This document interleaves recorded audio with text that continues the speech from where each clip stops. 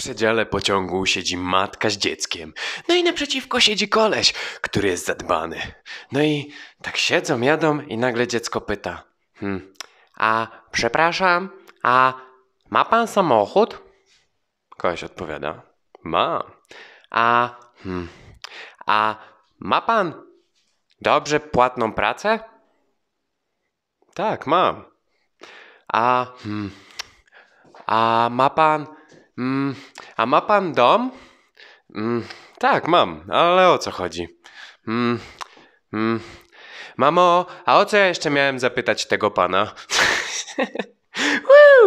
Pozdrawiam wszystkich bardzo serdecznie. Ja jestem Skoki. To jest program Ja Pytam. Widzimy się codziennie. Elo!